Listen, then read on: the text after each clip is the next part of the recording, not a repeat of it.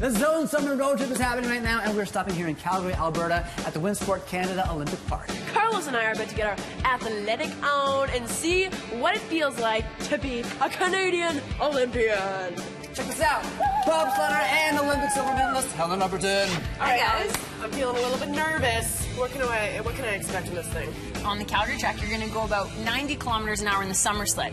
That's pretty slow because in winter we go between 120 and 130.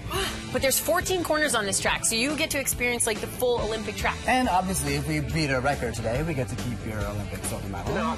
No, but you can touch it. I brought it. You can give it a little good luck rub.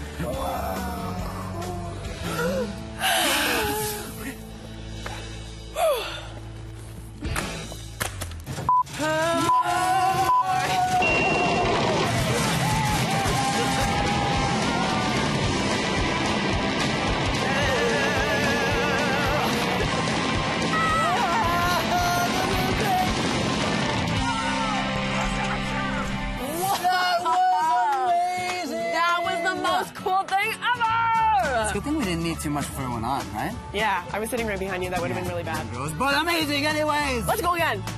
Immediately. All right, guys, stick around. We have more Zone Summer Road Trip on the way here in Calgary.